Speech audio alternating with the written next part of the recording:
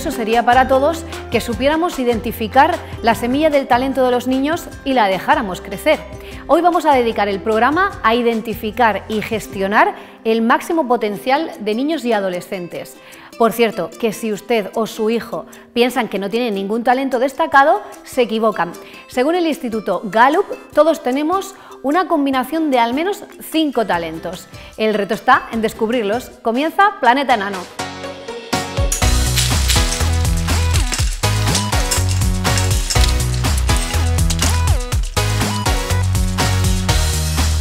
Hola amigos de Planeta Enano. Como bien sabéis, nuestra parrilla televisiva está llena de programas sobre el talento. Eh, tiene muchísimas formas, que si la voz, que si la cocina, que si determinada habilidad. Pero ¿qué pasa con todos esos niños y todos estos adultos como tú y como yo, que nuestros talentos no son tan obvios? ¿Eso significa que no tienes talento? Pues no, en este programa vas a descubrir cómo tú también tienes cinco talentos que te hacen ser especialmente diferente y capacitado para algo. ¿Sabes cuáles son?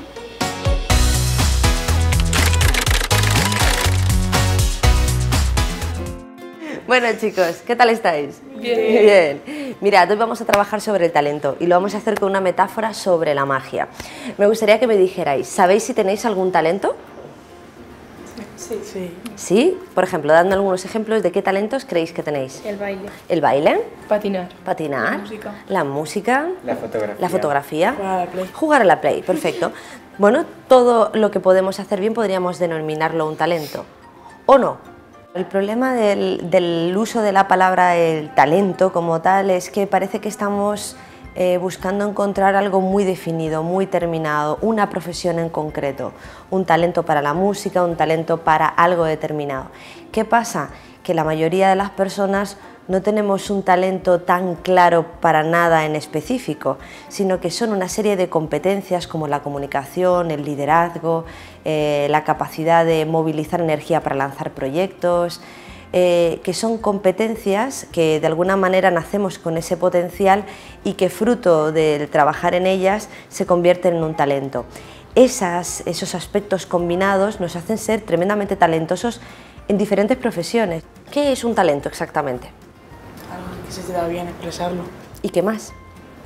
Y la gente lo ve que lo haces bien. Estupendo. Ahí ya empezamos a tener una de las características del talento, es decir, es que es reconocible. Eso quiere decir que el talento se ve desde fuera. La gente, cuando ve un talento, lo reconoce. El talento, fíjate, la palabra viene de la moneda antigua que nos, nos daba un valor para intercambiar cosas. Con el talento es con lo que estamos al servicio en la vida de los demás. Es aquello que nos permite aportar valor, generar eh, algo que ayude a otros o que me haga tener la sensación de que mi vida tiene sentido, de que aporto algo. ¿no? Bien, decidme, ¿qué otra característica tiene un talento para ser un talento? ¿Cómo sabremos qué es un talento? Algo que te resulta fácil. Sí, señor, muy bien. Es algo que no quiere decir que no me vaya a esforzar, claro, cuando quiero mejorar en cualquier cosa, me, me va, voy a tener que poner atención, energía, me cansaré, pero en las cosas que son un talento, mejorar nos resulta fácil, es como si fuera una escalera que no tiene los peldaños muy altos. Siento que siempre voy mejorando, pero que no es como si estuviera picando piedra en una cantera, ¿vale? Porque se nota que estoy en algo que es muy mío. En la carta grande lo que hemos, lo que hemos querido representar es ¿cómo puedo saber yo que esto es un talento? ¿no? Eh, si quiero desarrollar mis talentos, ¿dónde tengo que poner la atención? Bien, pues tengo que ver eh, qué son aquellas cosas que desde pequeño hago con cierta facilidad, aquellas cosas que cada vez que las afronto es muy repetible que tenga resultados estupendos o extraordinarios, aunque vaya progresando. ¿eh? Eh, aquellas cosas que los demás ven y además me encargan porque yo recuerdo perfectamente cuando era pequeña en el colegio, si había que leer o había que representar algo, eh, me lo pedían a mí, pero si había que ser minucioso o muy detallista en, yo que sé, en un cálculo matemático o en una paginación o en otro tipo de detalles, a mí nadie se le ocurría llamarme porque mi capacidad y mi atención no está puesta ahí, está puesta en otras cosas. ¿Creéis que con el talento se nace o se hace? o las dos. Se nace, se hace. ¿Tú por qué crees que se hace? Porque tú puedes tener ese talento desde pequeño, pero si no lo descubres, es como que lo puedes tener, pero no lo, no, no lo sacas a la luz, ese talento. Perfecto, fíjate, lo has dicho, pero perfecto.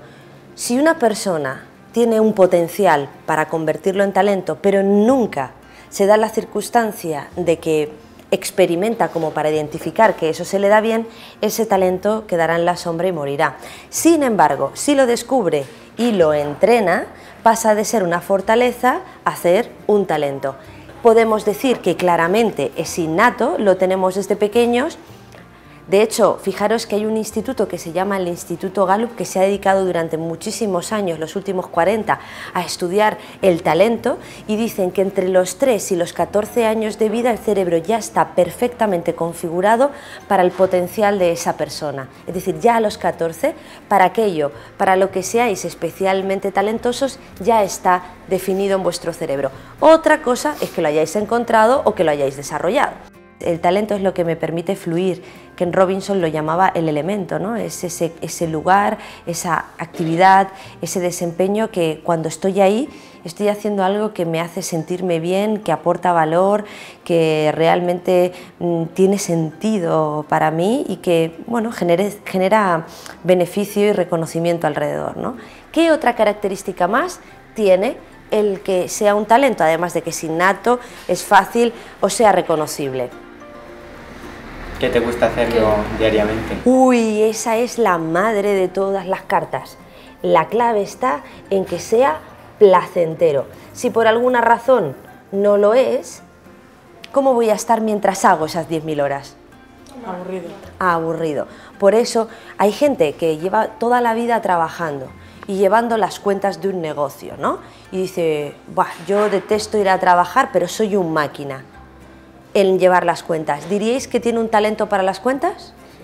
No, porque no es placentero. La característica, eso es que desarrolló una habilidad y probablemente sea súper habilidoso, tiene muchísimas competencias, pero el talento tiene la, la característica de que es placentero. Si no te conecta con el placer, no es realmente un talento. El talento es tan placentero que se me pasa el tiempo volando. Ese es un gran indicador. Y eso es lo que estaba en las cartas grandes, porque es donde yo quería que ellos vieran que esa es la mano maestra. Cualquier cosa que cumpla con esas características previsiblemente va a ser un talento mío. Bueno, falta una carta nada más, a ver si la sacáis por vosotros mismos. ¿Qué tiene que tener el talento para que de verdad lo sea? Agilidad. Sí, es cierto, la agilidad hace que cada vez que lo haces y lo repites y lo repites, vas teniendo mejor resultado en eso. Si yo un día hago tres mortales de golpe y nunca más lo hago, ¿eso es un talento? No, eso fue casualidad. Si yo un día hice una exposición en público y me salió muy bien, pero luego cada vez que hablo no me siento cómodo, no me gusta, no, no, se me, no, no se me da especialmente bien, no es algo que me atraiga, ¿eso es un talento? No, se, se fue que ese día estuvo bien, pero no lo reconozco como un talento propio. Decidme, de esas cosas que me habéis dicho antes, al principio, la fotografía, la play, cantar, música, patinar, ¿cumplen estas cinco características? Sí. Vale, perfecto. Ahora, ¿sabéis que tenéis al menos cinco talentos? ¿No? Bien, pues como yo sabía que esto iba a pasar, me he traído aquí mi chistera mágica, ¿de acuerdo? Para que veamos qué más cosas pueden ser un talento y que quizás nunca os hubierais imaginado que los tenéis, pero que curiosamente también son talentos. Vamos a por ello. Porque lo que quiero es que todos, aparte de patinar o lo que ya tengáis, cojáis cuatro cartas que hay aquí de cosas que digáis que también son un talento, ¿de acuerdo? Vamos a por ella. Activador, ¿a qué sonará esto? Que era muy activado. de muchas cosas. Gente que tiene un talento especial para poner en marcha proyectos. Analítico, Que analiza todo. que analiza todo. Afinidad. Afinidad.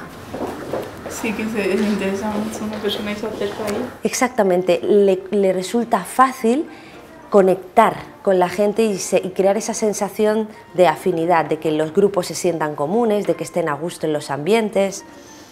Bueno, competitivo, otro talento más. ¿Qué Le encanta competir, Ah. todo. ¿Tendrá algo que ver eso con la Play? Sí. Puede ser, ¿no? Bien. Lo que hemos hecho por contra con las cartas pequeñas es ampliar su mapa del mundo, que ellos pudieran ver qué cositas eh, son también entrenables y convertirse en talento y puedan perfectamente eh, ser útiles en diferentes profesiones, ¿no? Bueno, fijaros, ahora van a aparecer en rojo.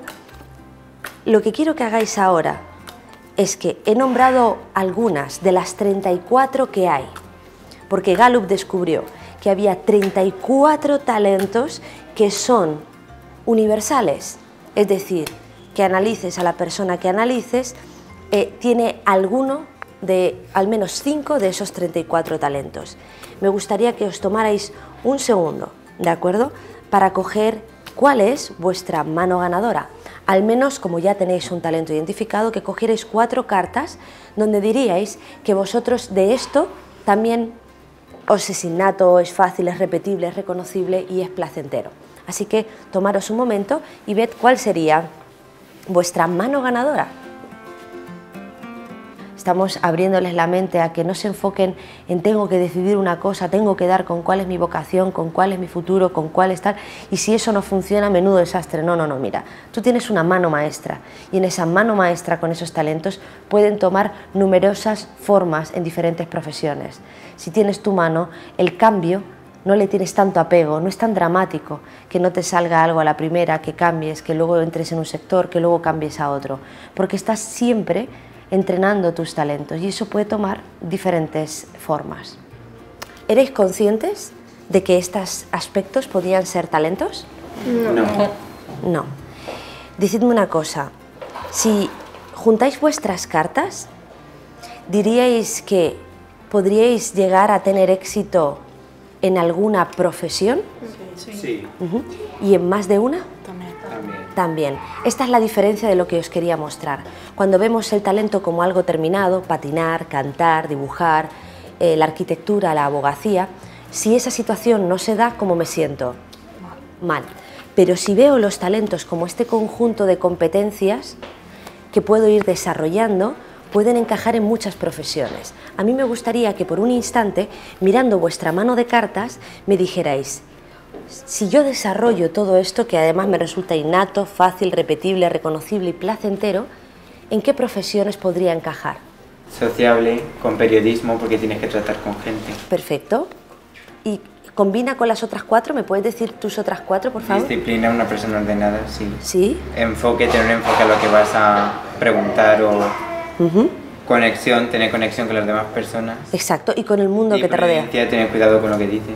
La prudencia de no importunar, Sí. mirar los posibles peligros, ver las situaciones. Bien, podría valer para ser periodista, Sí, podría valer para ser eh, eh, fotógrafo. también. Bien, ¿para qué más? Un, un trabajo que se enfoque siempre en algo y que tenga que ser muy disciplinado. Como por ejemplo. Abogado. por ejemplo, ¿vale?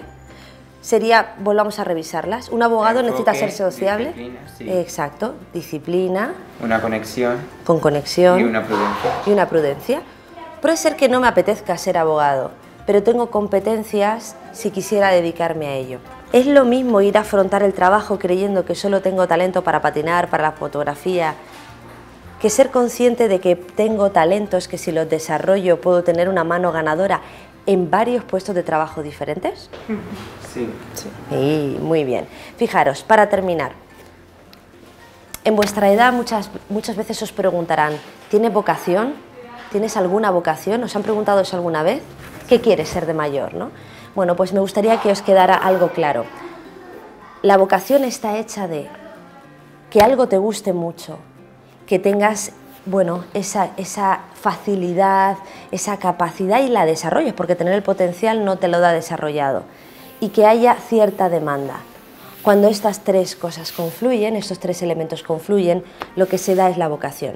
Si yo el día de mañana tengo que elegir una carrera o un módulo de FP, tengo que preguntarme, de lo que elija, ¿en qué puedo desarrollar más esto que yo tengo?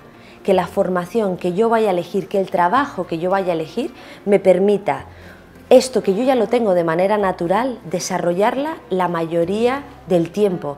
Pues de eso se trata. Muy bien, entonces, ¿de qué os habéis dado cuenta hoy? ¿Qué habéis aprendido? Que cada uno de nosotros tenemos más de un talento. ¿Cuántos en concreto como mínimo? Mínimo cinco. ¿Qué más? Que aunque queramos ser de mayor algo, también podemos tirar por otros hilos que nos gusten. Hay muchos más hilos, hay muchas más posibilidades. Perfecto. ¿Qué más? ¿Sabíais lo de innato, fácil, repetible, reconocible y placentero? Sí. ¿Sí lo sabías? Genial. ¿Y sabías que habían tantos talentos? No. ¿Os la habéis pasado bien? Sí. Muy bien, pues muchísimas gracias. Ha sido un placer estar con vosotros. Ahora hacer magia, ¿eh? Con esto, que tenéis manos ganadoras.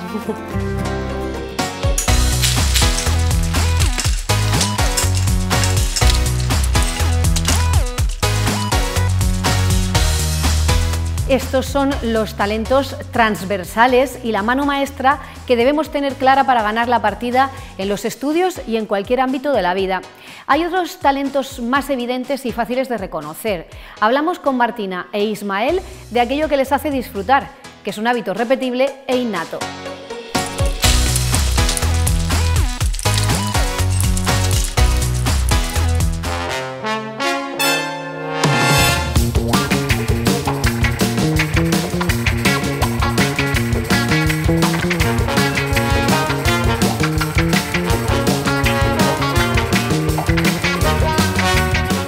Empezó hace creo que tres años o dos. Cuando estábamos, era cerca de Navidad, íbamos por el corte inglés con mi familia y yo vi un cubo y lo empecé a deshacer y no sabía hacerlo.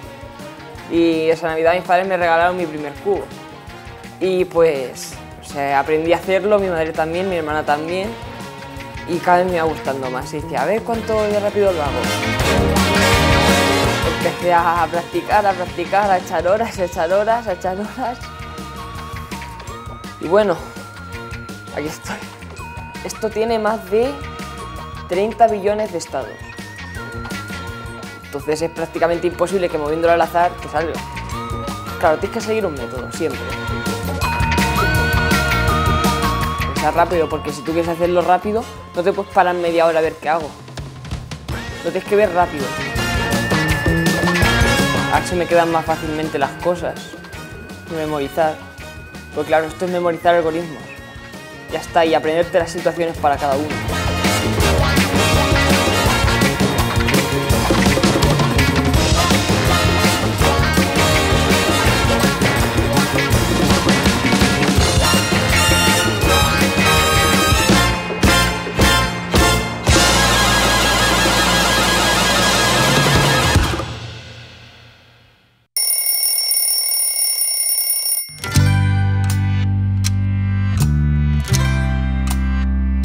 Hola Martina, Hola, me ha dicho un pajarito que te encanta dibujar. ¿Sí? Bueno, cuéntame, ¿qué es todo esto que tienes por aquí? son cuadros. ¿Son cuadros? ¿Te gustaría hacerme un dibujo ahora y mientras yo te voy preguntando sobre estos cuadros que tú has pintado? ¿Te gustaría hacerme algún dibujo? Vale, Bien, ¿qué me vas a dibujar? un gatito. Venga. Martina, ¿desde cuándo te gusta dibujar? Tú vete dibujando y me vas contando. Desde que era pequeña. ¿Como de pequeña? No sé cuántos años tenía. ¿No sabes cuántos años tenías? No, Mm, Aquí veo dibujos, este por ejemplo, que es del año 2016. ¿Cuántos años tenías tú aquí? tenía seis. Tenías seis años e hiciste este dibujo. ¡Wow! Oye, escucha, ¿te resulta fácil dibujar? Mm, sí, ¿Mm? ¿Qué pasa mientras dibujas? ¿Qué sucede? ¿Cómo te sientes? ¿Se te pasa el tiempo rápido? ¿Se te pasa el tiempo lento? se me pasa el tiempo rápido. Se te pasa el tiempo rápido, ¿no? Del 1 al 10, ¿cuánto disfrutas mientras dibujas? Diez. Un 10. ¿Es lo que más te gusta hacer? Sí, Ujú. ¿Dirías que tienes un talento para la pintura? ¿Mm? ¿Estás orgullosa de él? Sí. Muy bien. Pues muchas gracias, Martina. Me encanta este gato. ¿Me lo puedo quedar? Vale. ¿Me lo vas a dedicar? Porque a lo mejor algún día este gato vale muchísimo dinero. ¿Quién sabe? A lo mejor aparece en un, en un museo. ¿Te gustaría? Sí. Muy bien. Pues fírmalo.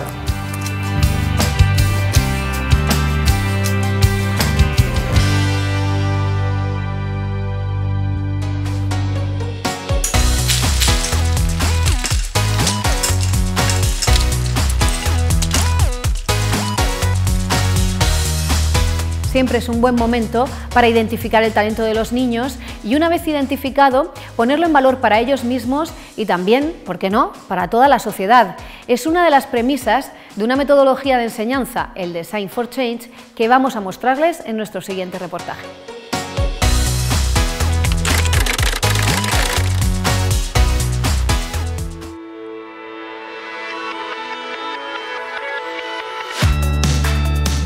Hola. Buenas.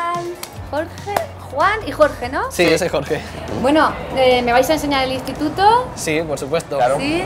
Eh, y una metodología que tenéis muy innovadora, ¿no? Sí, estamos trabajando con la metodología de Design for Change, que es novedosa y vamos, te la queremos enseñar ahora mismo. ¿Sí? Pasamos.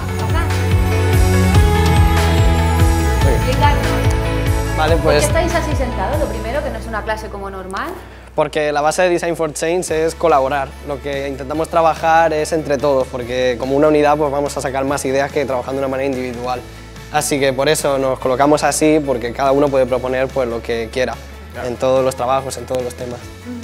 Juan, eh, hay distintas fases, ¿no? Por lo que veo. Sí. Siente, imagina, lo tenéis por aquí, por los paneles. Lo ponemos, por por la primera parte, siente, nos focalizamos en lo que queremos trabajar, luego procedemos a la lluvia de ideas, donde hacemos los focos de acción y cogemos los que más nos interesan. Por ejemplo, en nuestro caso cogimos las campañas de concienciación y el eliminar las barreras que tenemos en nuestro instituto.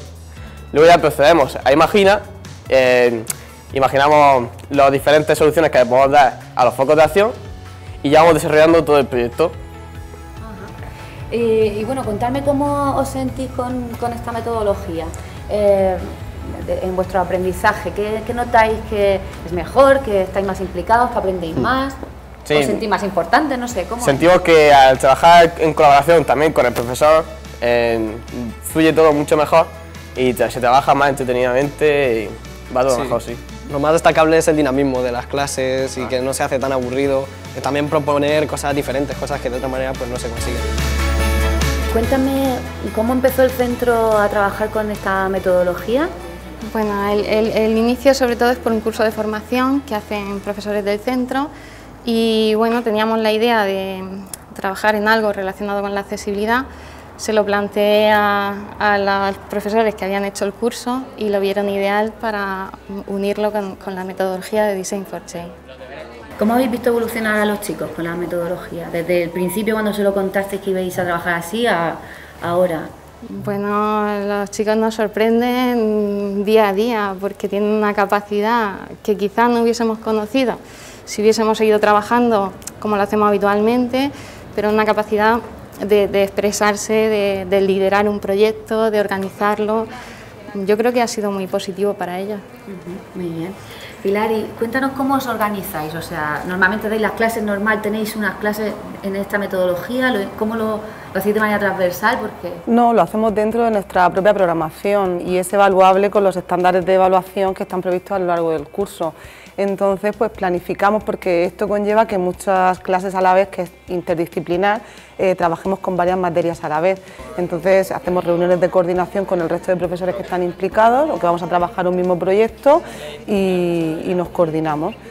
Nuestra idea fundamental de este proyecto es que se comparta y que esto siga otros años y que lo reciba el resto de las personas a las que va dirigida. Y una de las cosas fundamentales en nuestro centro es que lo que nosotros hacemos se comparta, que valga para algo y principalmente es- se incluya en la oferta socioeducativa que plantea el ayuntamiento, de forma que el resto de los colegios e institutos del municipio puedan utilizar lo que nosotros hemos trabajado para que lleguen a, a buen fin.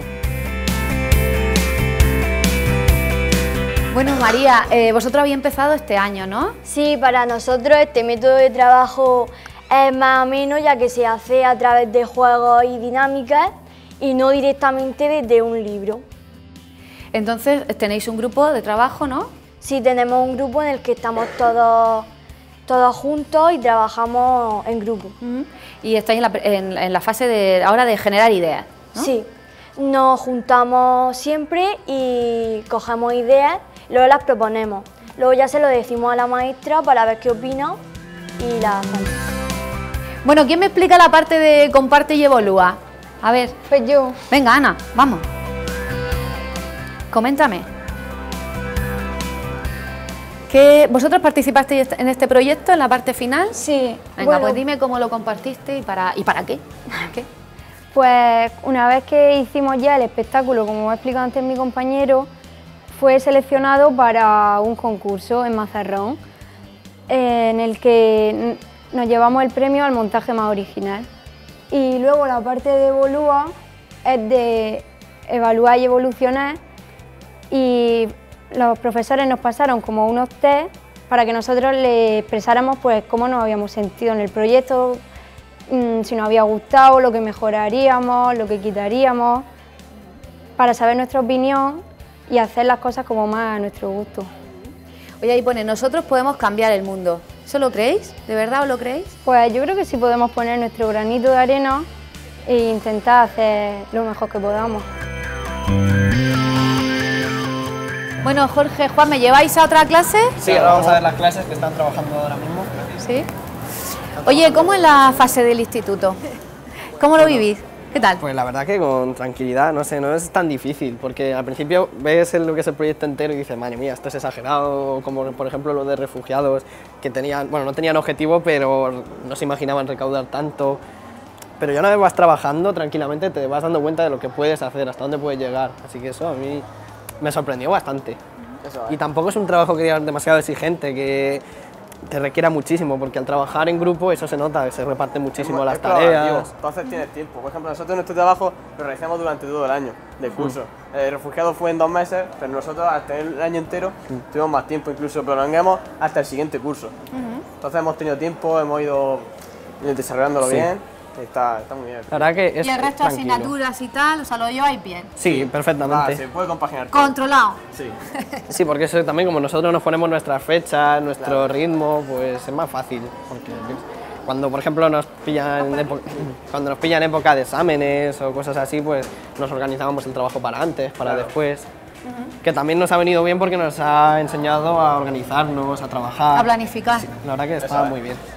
Muy bien, y hacer equipo, ¿no? También me imagino. Sí, porque Trabajando siempre no, en siempre, grupo. no siempre es fácil trabajar en grupo, pero con esta metodología es que te enseña a trabajar en grupo y te lo hace muy bien, muy, muy No, sencillo. no hay nadie que se escaque, como en los trabajos de grupo normalmente.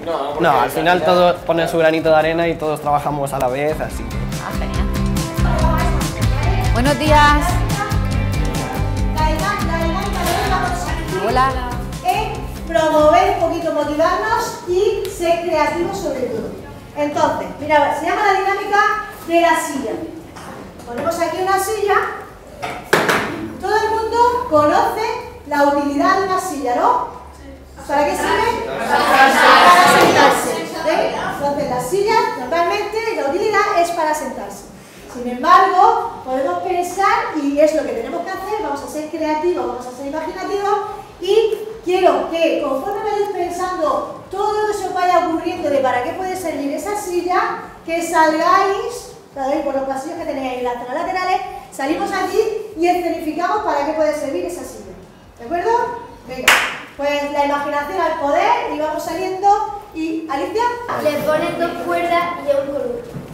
Le ponemos dos cuerdas y es un columpio. ¿Y cómo te balanceas? Eh, pues... por- Ah, no, no, Alicia, siéntate. ¿Vale? Le ponemos dos cuerdas, Se le- Se le quitan ¿vale? las patas de aquí y, y se le... Y se, o sea, la, la cuerda se ata, la cuerda y nos aquí. ¿Vale?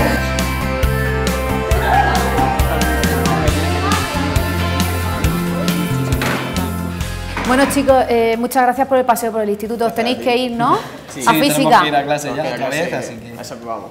Oye, muchas gracias, ¿eh? Eh, que vaya todo muy bien y gracias por darme un paseo por el instituto. Pues muchas gracias. Gracias a ti. Venga, chao, Adiós, hasta hasta luego. luego. Despedido de los chicos que me han hecho ahí. Teresa, estáis en la primera fase ¿no? de- del proyecto, Eh, sí. de la metodología de Sign for Change. La Cuéntanos primera un fase poco. se llama Siente, y nosotros hemos puesto, bueno, quisiera a lo mejor que os contaran ellos un poquito lo que hemos hecho hasta ahora, pero nuestro marco de trabajo llevamos dos años trabajando con la diversidad cultural. Entonces el año pasado se hizo un proyecto sobre las tres culturas, judía, musulmana y cristiana, y este año nos hemos centrado en la cultura japonesa, que queremos traer un poquito esa cultura o esa filosofía japonesa, traerla un poquito al centro, con lo que ellos quieran. Ellos van a tener las ideas para, para llevar a cabo el proyecto, porque realmente esa es la esencia de, de Design for Change. Te hemos visto ahí trabajar con las sillas, están un poco trabajando el pensamiento creativo con Sí, ellos. exactamente, la creatividad y sobre todo pues porque pierdan el miedo a, expresarse, el miedo a salir, el miedo a, a expresarse delante de los compañeros, la timidez, que pierdan un poquito esa timidez. Muy bien. Venga, pues te dejamos que sigas con la clase. Nosotros Vale. nos quedamos aquí mirando un ratito. Mirad, vamos a hacer, un- como ya comenzamos con esta fase, pero nos quedamos en la sesión anterior, nos quedamos un poquito a medio de la fase, lo que voy a hacer ahora es lo que hacemos en la rutina. Yo voy leyendo los posits que hemos ido agrupando y entre todos vamos a hacer una oración que sintetice todos esos posits. Por ejemplo, vamos con esta nube de pensamiento. Leo lo que habéis puesto. Dice, los japoneses son muy inteligentes. La cultura japonesa tiene los ojos achinados como los chinos. Los japoneses son puntuales. Vale, esos tres posis vosotros lo habéis agrupado porque tienen que tener algo en común. Vamos a decidir entre todos, vosotros decidís cómo sintetizamos esos posis, ideas. ¿Cómo son las personas en Japón? Las, su físico. Físico, personalidad, personalidad, forma de ser, lo agrupamos en una sola palabra. La forma de ser, vale, pues entonces Rocío que tiene buena letra lo va a copiar ahí y ahora lo pegaremos aquí como foco de acción. Va a ser un foco de acción el estudiar o investigar cómo piensan o cómo son los japoneses. Japonesa, la evolución de la tecnología japonesa. Cada uno de vosotros tenéis tres puntos. Os voy a repartir ahora rotuladores y si no, sacar vosotros rotuladores. Contaremos luego que eh, Nube de Pensamiento tiene más votos, con lo cual vosotros, la mayoría, habréis decidido sobre qué queréis trabajar. ¿De acuerdo? Entonces vamos saliendo de uno en uno, vamos poniéndolo. Tres puntos. Ha puesto Alexei. Vamos con el siguiente.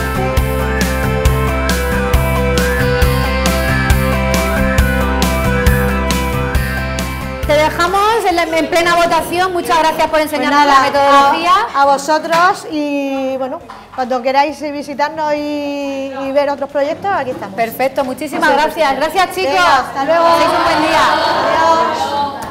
Bueno, pues no puedo irme de este instituto sin hablar con Isabel, que es la directora, y que me cuente cómo se metió en esta locura de, de hacer un método innovador como es el Design for Change. Isabel, ¿qué tal? Hola. Besito. Oye, me ha encantado el proyecto, tienes a todos los profesores revolucionados. Sí, ellos me revolucionaron a mí. Ah, sí, Hicieron fueron ellos. ese curso de formación y vinieron a proponerme empezar con nuevas metodologías.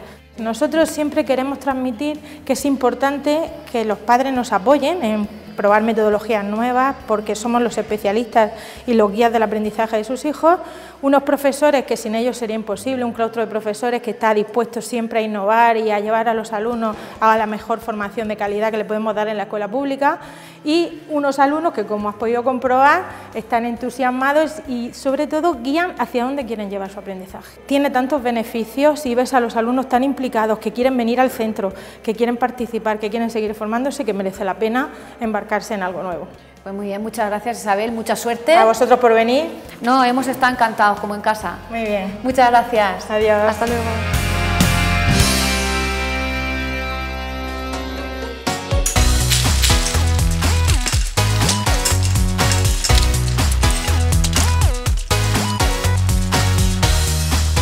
Doctor en neurociencia por la Universidad de Oxford, nuestro planeta experto es un conocido divulgador en el ámbito educativo. Defiende que los avances en la neuroeducación tienen que ir acompañados por un cambio en la forma de educar y de aprender.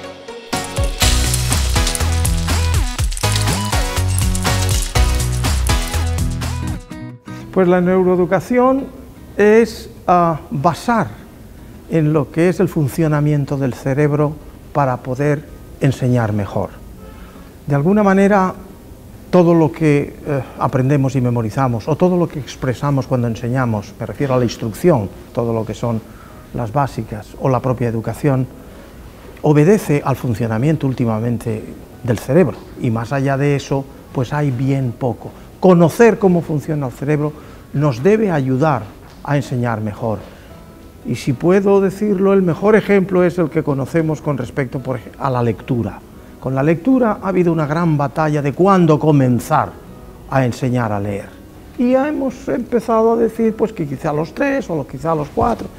Las áreas del cerebro que codifican para aprender a leer, tanto en los contactos de las neuronas como en el aislamiento de los axones de las neuronas, está alrededor de los 6, 7 años. Por tanto, como en Finlandia, tendríamos todos que acomodarnos a pensar que es esa la mejor edad. De perfecto nada. No hay, por ejemplo, si fuese perfecto, tendríamos que decir que hay cerebros perfectos. Y el cerebro es absolutamente todo lo contrario. Cada ser humano tiene un cerebro diferente al de cualquier otro de los 8.000 millones de seres humanos que pueblan la Tierra. No hay un cerebro que pudiéramos tipificar de cerebro normal y por tanto perfecto. No, como se ha venido diciendo aquí, cada uno realmente tenemos nuestras capacidades y nuestras torpezas. Llegamos al punto de darnos cuenta que este niño, por ejemplo, que se le llama de eh, hiperactividad y déficit atencional, puede y se ha visto que desarrolla talentos creativos que no lo tiene el niño que aparentemente es el normal. O ciertos niños autistas tienen ciertas capacidades extraordinarias matemáticas. Y así sucesivamente, cada cerebro es distinto. No existe un cerebro normal y desde luego perfecto no lo es. Y los neuromitos son pues las falsas verdades aplicadas a la enseñanza. De hecho, bueno, pues hay muchos neuromitos, más de 54 bien tipificados, y abiertamente pues nos encontramos que cada día asoman nuevos. De ahí cuando hablamos de erradicar los neuromitos del colegio, nos estamos dando cuenta de la imposibilidad de que eso ocurra. Pero sí es bueno que vayamos por lo menos destruyendo los que conocemos bien. Hay, ya digo, muchísimos ejemplos, pues qué sé yo, el mito de la edad de los tres años, lo que no, que eh, hay miles, millones de constantes renovaciones y nuevos contactos sinápticos en el cerebro a esa edad, miles por segundo. Y se pensó en un momento dado el que si a esa edad, incluso sin el niño enterarse, que lo oyese, que le dijéramos algo de historia, algo de conceptos, algo de alguna manera, que tal vez con esa vorágine lo metiera dentro de su cerebro y fuese un fruto el día de mañana. Todo eso es un mito, no es así. Sí habría que decir, creo yo, algo importante. Y eso es la esquizofrenia que existe entre colegio y familia. La educación en familia tiene que estar concertada con educación en el colegio. No puede el niño aprender algo en el colegio y que sea contrariado o discutido en el seno de la familia. Creamos un pequeño caos. Esa es una nueva tendencia actual, el darnos cuenta que, hay que, que tiene que existir una coexistencia, cursos, reuniones entre el colegio donde va el niño y la familia que educa al niño. O el niño no aprenderá bien ni conseguiremos esa finalidad del niño que cuando convertido en adulto sea una persona honesta que hemos hablado, es decir, de valores y normas, porque se contraría. Y esos son aspectos muy importantes que en países, digamos, en Finlandia, siempre es Finlandia, demonio, pero en fin, y otros, pues esa concertación existe. Aquí todavía no. Aquí todavía llega un padre y le dice a un maestro, a usted, y lo desafía. Eso no puede darse. Tiene que haber concierto, o desde luego no tendremos el fruto que queremos perseguir.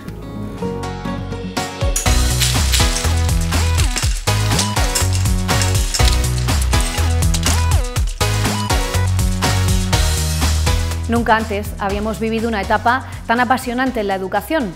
Lo dicen todos los expertos que consultamos. Amparo Escamilla, directora de proyectos pedagógicos, insiste en una idea. Tenemos que hacer creer a los niños que tienen una mente increíble.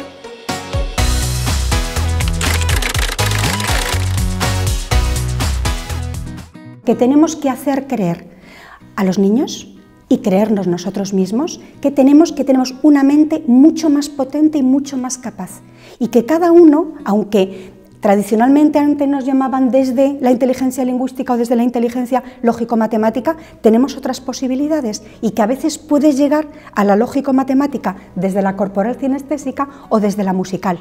Entonces, o sea, que todas te pueden enriquecer y que todos tenemos esa posibilidad de crecer y avanzar, y eso con herramientas concretas. En lo que hasta hace muy poquito queríamos solo los profesores, nuestro cerebro es plástico, podemos crecer, los niños pueden ser más inteligentes y podemos ser más felices con programas educativos.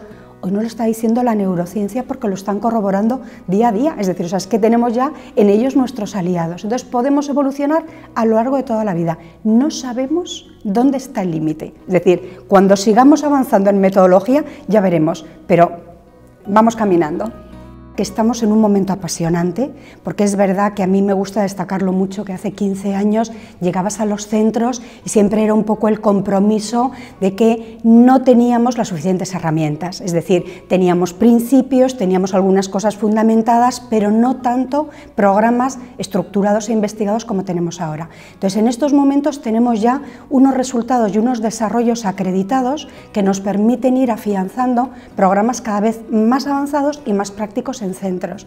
Pero es cierto que a veces eh, en muchas ocasiones por intereses comerciales, por intereses de distinto tipo o a veces sin intención, que sale así, a los profesores les llegan como campanadas, como programas paralelos. Y ahora inteligencias múltiples, y ahora competencias, y ahora inteligencia emocional, y ahora aprendizaje cooperativo. Y son como carpetas, carpetas, carpetas y les abruman. ¿no? tenemos ya herramientas para integrar en programas específicos distintas modalidades de estímulo. Y de esa manera además los profesores eh, refuerzan todo lo que están logrando. Entonces me gusta ir mostrándoles cómo partimos de un concepto neurocientífico, lo llevamos con la didáctica a la práctica, los profesores se inspiran, inspiran a los alumnos y los alumnos nos vuelven a, retroalimentar. Es decir, ya tenemos ahí como una comunicación bidireccional que está dando unos resultados fantásticos. Yo integraría la metodología que hoy tenemos de enseñar a pensar, enseñar a cooperar, conocer y controlar emociones en los programas. Y además, como he dicho, las presentaría integradas, es decir, y para y desde una concepción, desde un enfoque de inteligencias múltiples.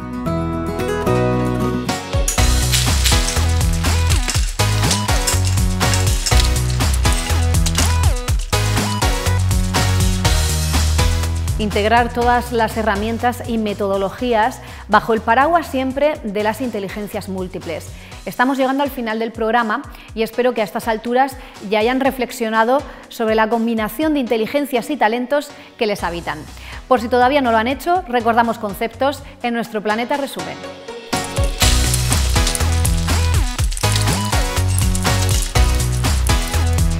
De verdad que espero de corazón que hayáis cambiado vuestro concepto del talento.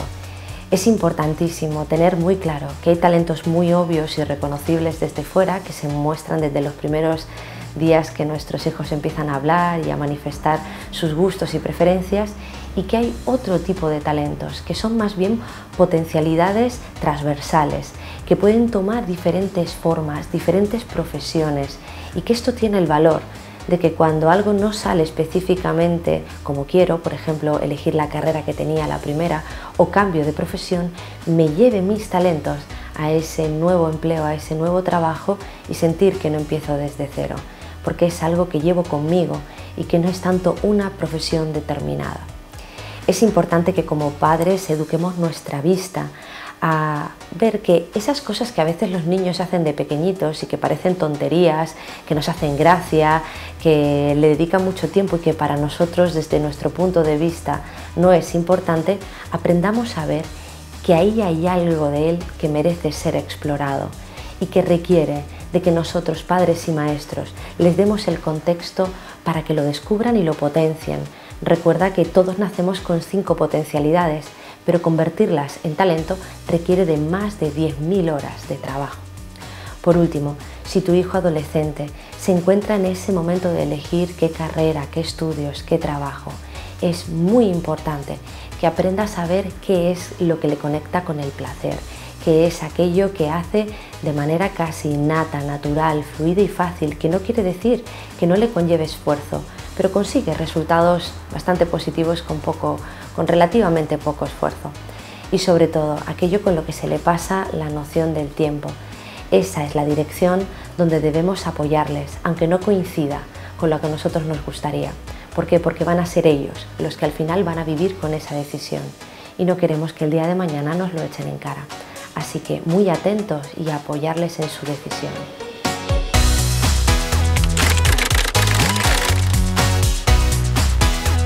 Los niños mandan señales todo el tiempo sobre sus talentos. Solo tienen que estar pues, muy atentos. Conocer sus puntos fuertes es básico para elegir un camino u otro en su formación académica, pero eso sí, no olviden aligerar el peso de una decisión respecto a los estudios, porque no tienen por qué condicionar su vida.